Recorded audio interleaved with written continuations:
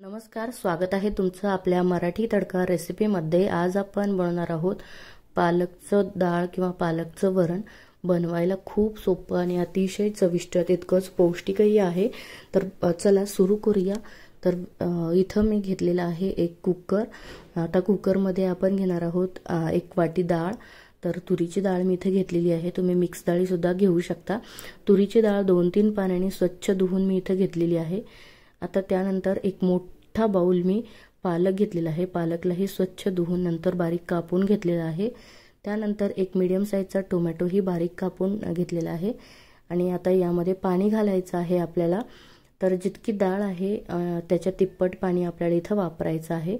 डाळ आपण टाकल्यानंतर पाणी टाकलेलं आहे. नंतर व्यवस्थित असं मिक्स करून घेतलं आणि आता आपल्याला याला झाकण ठेवून चार शिट्ट्या करून घ्यायच्या आहेत. चार शिट्ट्यामध्ये आपली डाळ आणि पालक व्यवस्थित शिजतो. तर कुकरचं झाकण मी इथं बंद करते आणि मीडियम गॅसवर कुकरच्या चार शिट्ट्या मी इथं करून घेणार आहे.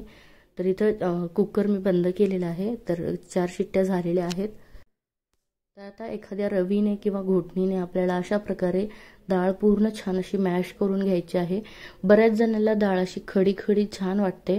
म्हणजे जी अख्खी डाळ असते तशी आवडते. पण आमच्याकडे अगदी स्मूथ अशी झालेली डाळ आवडते. त्यामुळे मी छान असं मॅश करून घेणार आहे.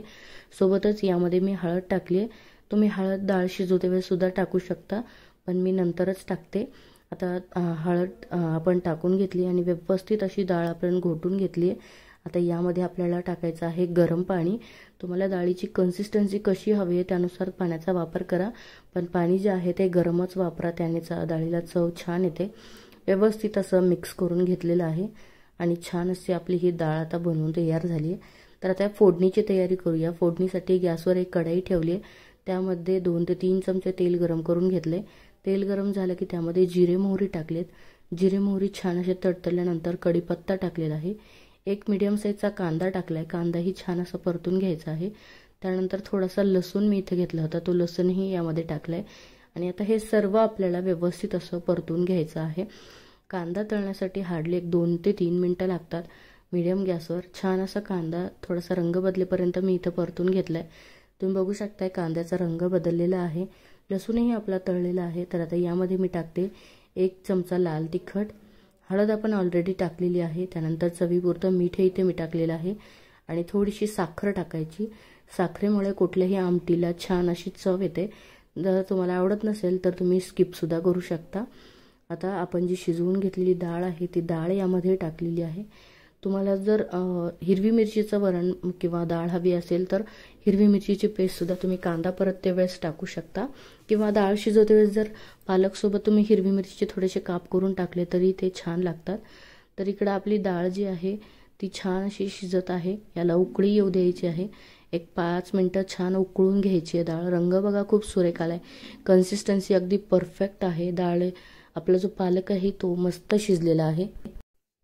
जवळपास एक चार ते पाच मिनटं मी डाळ शिजवून घेतलेली आहे मीडियम गॅसवर. छान अशी डाळ शिजली रंग सुरेख आलेला आहे. कन्सिस्टन्सी परफेक्ट आहे. तुम्ही ही भाकरीसोबत भातासोबत किंवा चपातीसोबत कशासोबतही खाऊ शकता.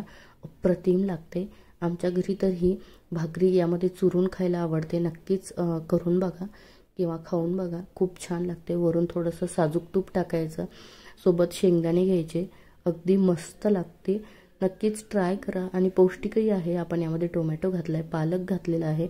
आणि डाळ तर आहेच प्रोटीनयुक्त. तर नक्कीच ट्राय करा. धन्यवाद.